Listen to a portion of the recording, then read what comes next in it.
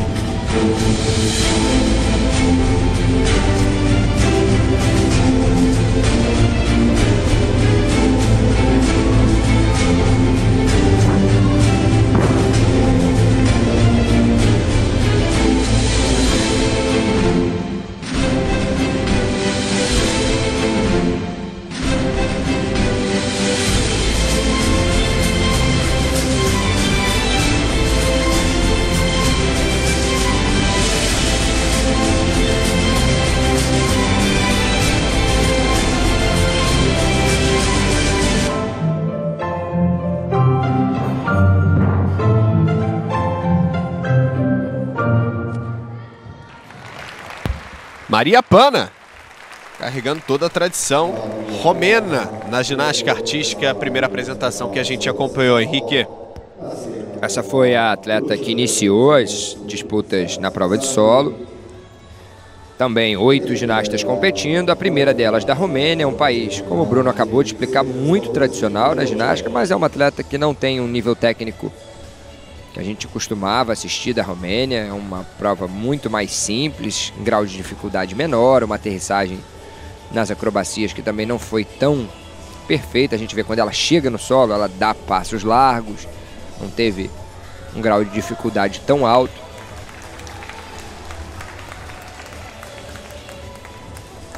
A Romênia hoje já é um país que não ocupa aí as primeiras colocações nos campeonatos mundiais, nos Jogos Olímpicos. Foi durante muitos anos o país a ser batido na ginástica. Mas atualmente não ocupa mais esse papel de principal, não estando entre as 12 melhores equipes do mundo no momento. Romênia que não participou da disputa por equipes no feminino na Rio 2016. 12.500 é a nota dela, curiosamente nas edições anteriores, né? 2012 a equipe romena foi bronze, 2008 bronze, 2004 ouro, 2000 ouro, 96 bronze, 92 prata, sempre ganhando medalhas, né? E não participou da edição dos Jogos Olímpicos de 2016.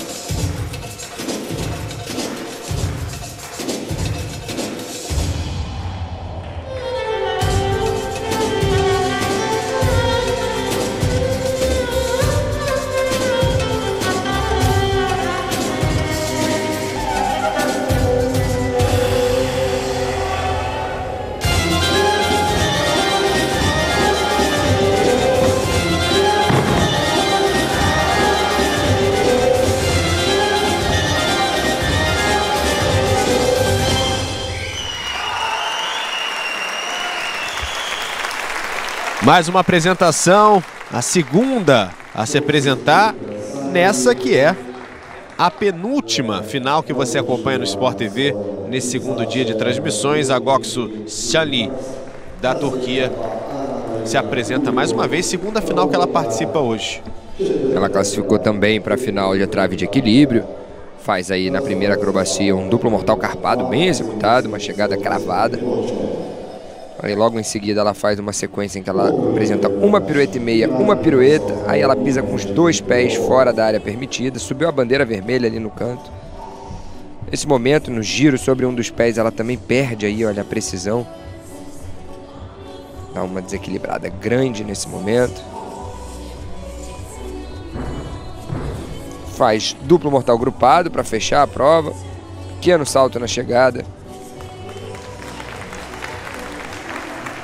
Apresentou algumas falhas durante a execução dos exercícios. Hoje, assim como na trave de equilíbrio, não foi o melhor dia de competição da ginástica da Turquia. Pequenas falhas que podem fazer com que ela fique fora do pódio ali no final.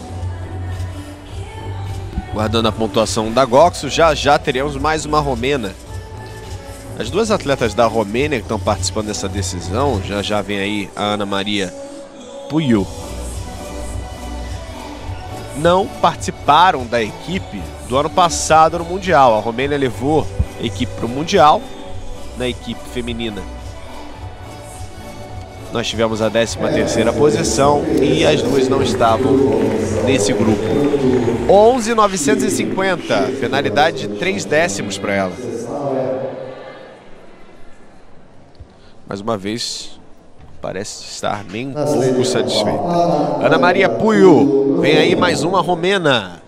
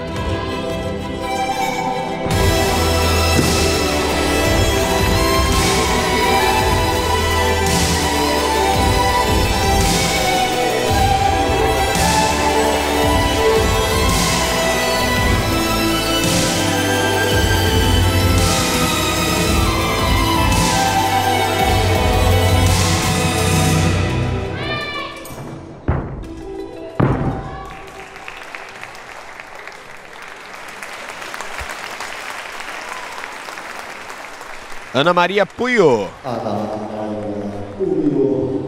Representante romena, mais uma, né? Vimos ali mais uma vez a Maria Pana. Compatriota dela acabou de se apresentar. Por enquanto, a liderança é da Romênia. Maria Pana fez uma nota melhor do que a Goxo Shanli, que é a turca que se apresentou depois, Henrique. Um grau de dificuldade agora mais alto nessa prova. Ela tem mais dificuldade que as ginastas anteriores. Tem aí, pode colocar a Romênia na primeira e segunda colocação até o momento. Boas acrobacias, boas aterrissagens. Esse é o giro sobre um dos pés, na posição agachada que ela faz, dois giros. A Romênia costuma também se destacar muito na prova de solo, é um dos principais aparelhos deles. Aí o momento do duplo mortal grupado, chegada praticamente cravada também.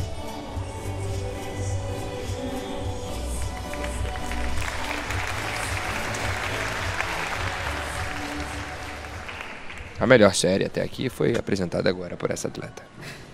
Vamos ver quanto ela deve superar. 7,9 na execução, 12,850. O Romênia agora tem a dobradinha.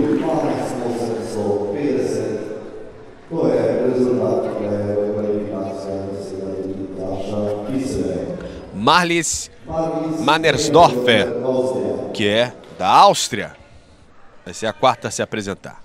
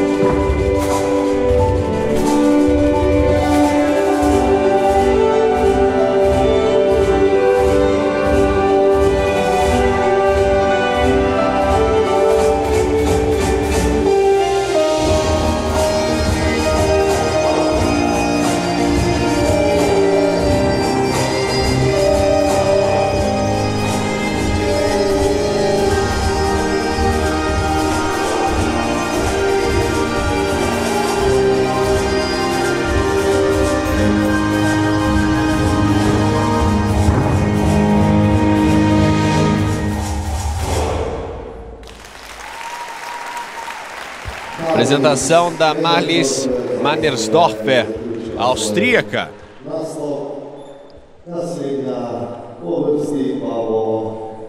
Mais uma atleta e competidora na prova de solo, com um grau de dificuldade menor do que as demais ginastas que se apresentaram até aqui. Ela faz uma prova que na primeira acrobacia ela executa um duplo mortal aí na posição grupada. Ela tem boa altura, mas uma precisão não tão perfeita na aterrissagem. Nesse momento ela faz uma pirueta e meia seguida de mortal estendido para frente. Novamente o pé esquerdo sai ali da área permitida. Um grau de dificuldade menor do que as demais atletas. Não deve incomodar aí a liderança da Romênia até o momento.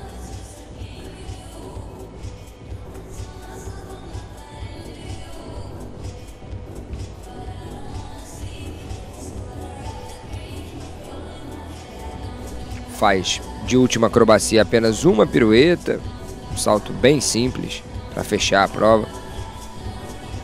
Não é aí uma das principais concorrentes na disputa da medalha de ouro. Mannersdorfer, que foi campeã austríaca em 2017, primeiro grande título dela, austríaco, no individual geral.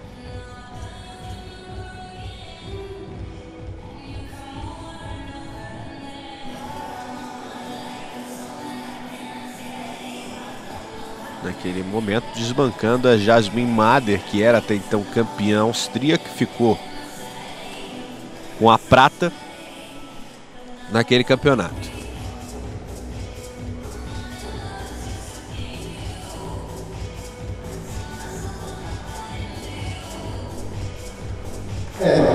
Nos anota 11,600, uma penalidade de 4 décimos para a austríaca.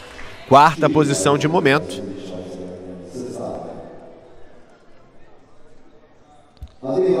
E agora atleta da casa. A dela sai.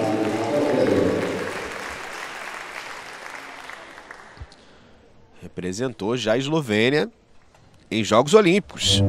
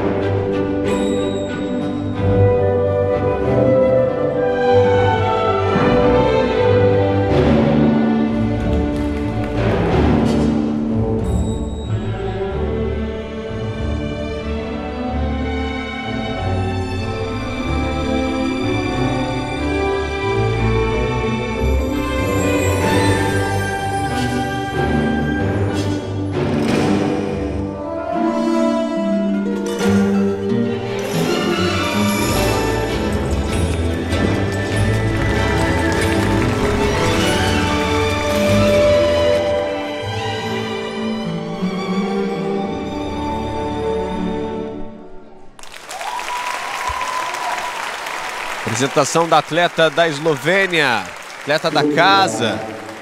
Veja o símbolo da Rio 2016 na camisa do seu treinador. Ela que foi a única representante da Eslovênia nos Jogos Olímpicos de Pequim em 2008. Uma atleta de 29 anos. Uma ginasta muito conhecida na Eslovênia. Ela está sempre nas etapas de Copa do Mundo. Foi a representante também nos jogos como comentado nos Jogos de Pequim ali a tatuagem dela deixando clara a representação da atleta. Aí a primeira acrobacia, um duplo mortal para trás carpado. É uma prova que não tem um grau de dificuldade alto, mas tem uma boa execução. O atleta tem uma execução muito limpa nos exercícios. Pequenas falhas nas aterrissagens, esse giro não foi tão preciso.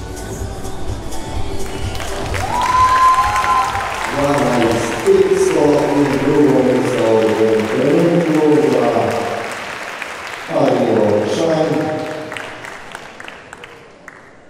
expectativa muito grande da, do público em cima dessa apresentação. O atleta tinha chance de estar tá aí e consegue estar tá entre as melhores. E faz uma graça, né? Tá feliz e contente com o resultado. 12,500.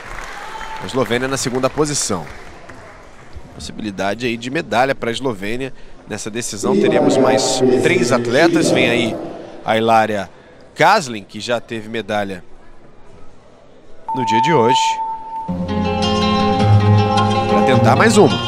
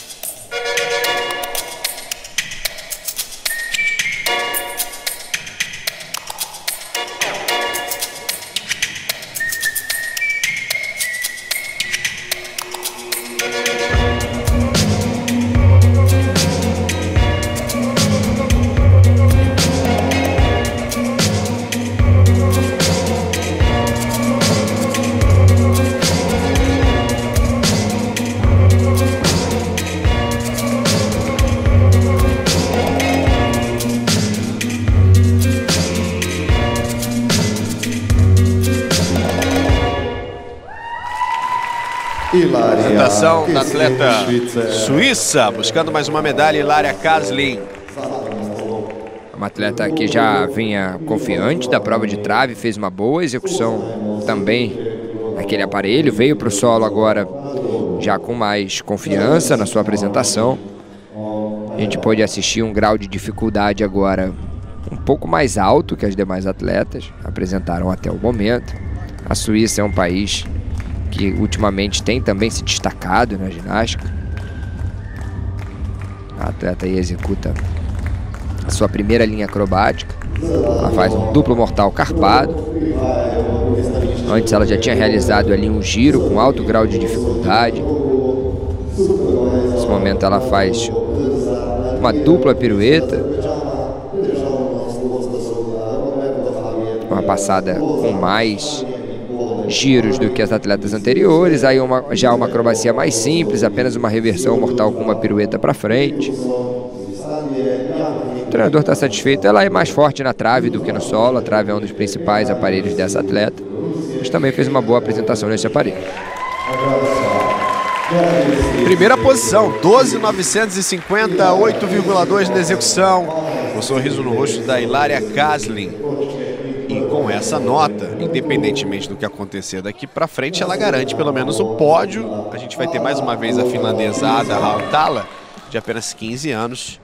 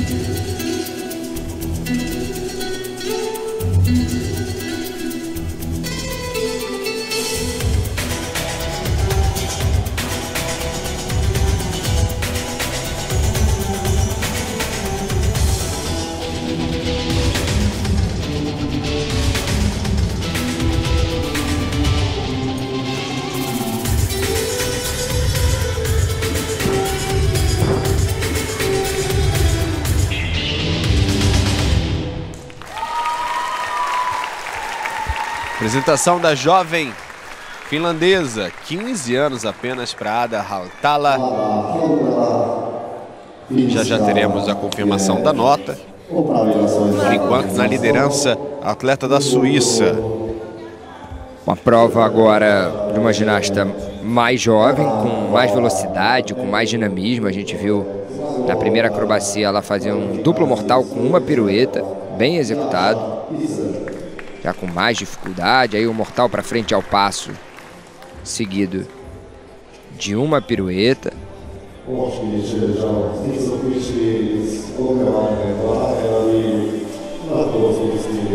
No momento ela faz um salto com duas piruetas. A última acrobacia também, nesse momento, uma dupla pirueta, mas um mortal com duas piruetas. Passou bem a jovem atleta. Na trave ela teve uma queda. E é bom que ela tenha essa participação agora no solo, saindo da competição com essa boa recordação. Parece bem satisfeita a ginástica. 12 e 300, 7,9 na execução. Sem chance de pódio. A Ada. E agora vamos à última atleta, Jaza Kissel.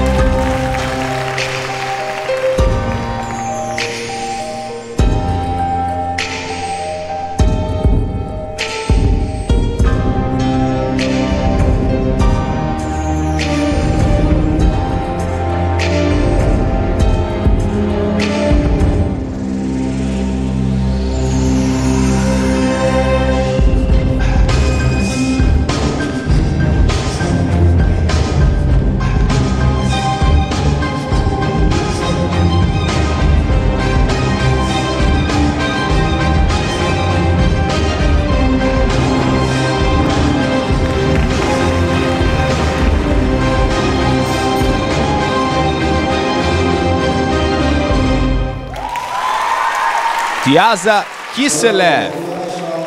É a segunda atleta da Eslovênia nessa final. 26 anos, por isso a reação do público após a apresentação dela e ela encerra também a decisão no solo feminino. Henrique. Uma boa participação também da Eslovênia agora, se colocando aí como um dos principais países nessa etapa da Copa do Mundo, competindo em casa. Eles fazem uma boa apresentação.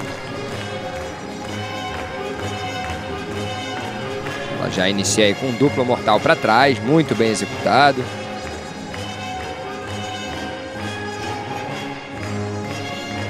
Executa também outros exercícios não acrobáticos que compõem a prova. Faz uma reversão mortal para frente com uma pirueta, mesma acrobacia apresentada por outras atletas.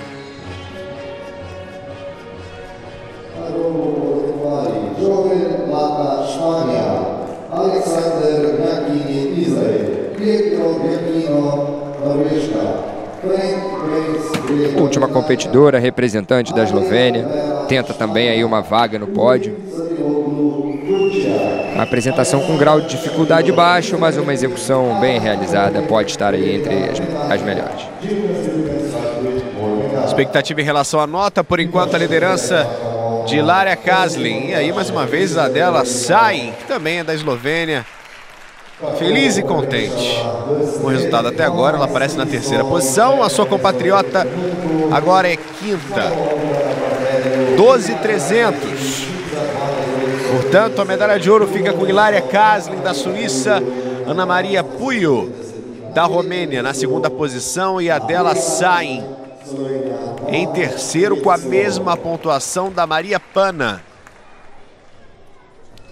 Depois a Kiselev, que acabou de se apresentar com 12,300.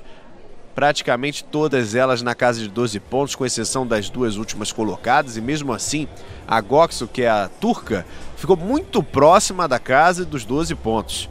11,950 penúltima posição e a última posição para a atleta da Áustria, a Manesdorfer.